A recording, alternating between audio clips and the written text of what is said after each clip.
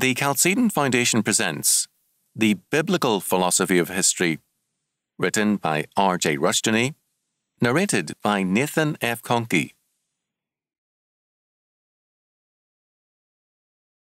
Preface Year 2000 publication. When The Biblical Philosophy of History was first published in 1969, it sold out quickly it was favourably used in Christian colleges and unfavourably by secular universities. Only lack of funds has prevented an earlier reprinting. I have usually had, as I do now, several new works awaiting publication. The subject of a philosophy of history is an important one. If we hold to a non Christian and evolutionary view, history is ultimately governed by impersonal forces in a Christian view, the totally personal triune God governs all things totally. The two views cannot be reconciled.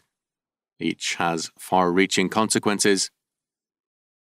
In a biblical view, sin and salvation are basic in our lives. In a non Christian view, it is our evolutionary potential.